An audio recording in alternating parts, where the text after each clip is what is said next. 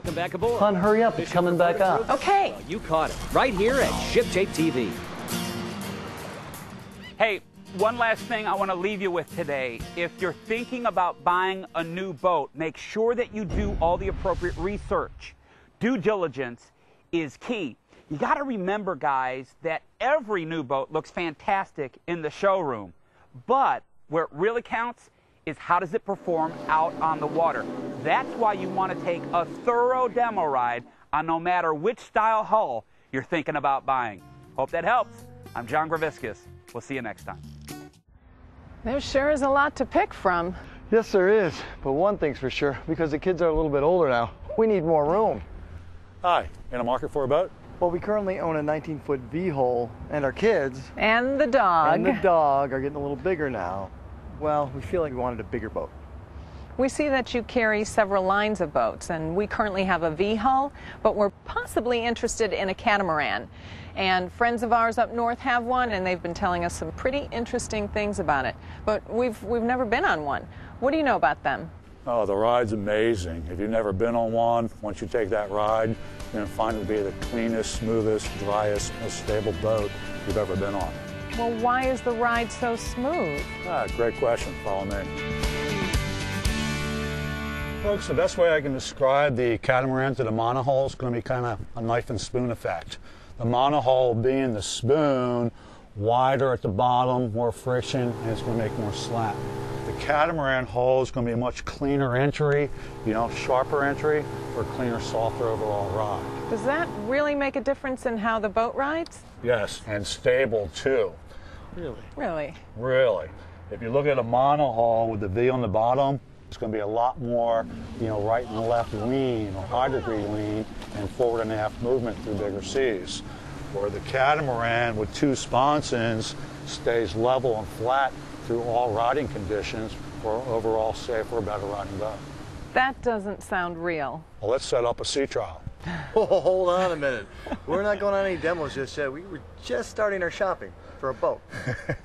That's fine. I'm sorry to be pushy or seem so. It's just been our experience that once people ride the catamaran, the boat sells itself. Well, we like to take our boat and the kids and the dog to the sandbar. But what kind of a draft does a catamaran hull offer compared to a monohull? Much shallower. The catamaran is going to be about 12 and a half inches. It's lighter, the cleaner sponsons, where the monohull is going to be at least two feet. Well, what about fuel consumption? I mean, with today's gas prices, I'm a little bit concerned. Yeah, great question. Again, if you look at the monohull, wider hull, more drag in the water to our razor blade type entries on our sponsons, more efficient, less drag in the water. Because of the trapped air underneath the tunnel, it compresses, causing more lift, more efficient ride, more cushion, a softer re-entry for a better overall ride. That tied in with E-TEC engines, which are lighter, faster, clean burning, and no maintenance. There is no 10, 50, 100 hour break-in, or two cycles and four strokes all have 10, 50, 100 hour break-in costly services. Folks, now that you're aboard a catamaran, can you sense and feel the extra space over a monohull? Well, how do you figure? Because our sponsons stay out where the monohull V's in, therefore we create a lot more space for you, your friends, and your pets. Having all that extra space would be nice. Well, thank you very much for your time. Pleasure.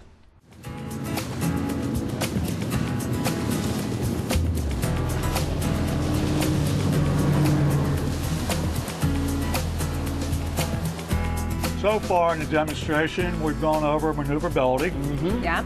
Okay, at the docks, with the spread of the engine, it made it a lot easier to torque the boat around, correct? Yep, that was great. Next, we showed you how stable the boat was. Everybody going on one side or the other. That was terrific. Wasn't that incredible? No listing whatsoever. Yep.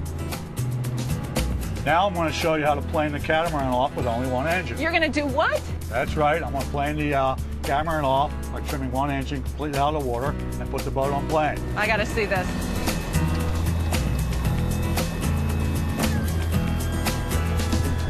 Ready? Okay, here we go.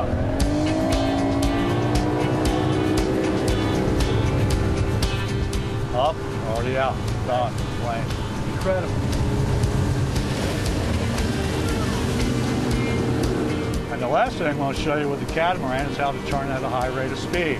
Common myth with monohulls is they tell you you're going to get thrown out of the boat.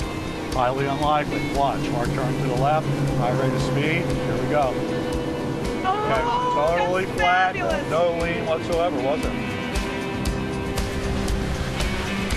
Woo! Well, what do you think? Ah, I'm sold. I'm sold. Let's go back and write this up. Hey, did they take trade-ins? Absolutely. That was unbelievable.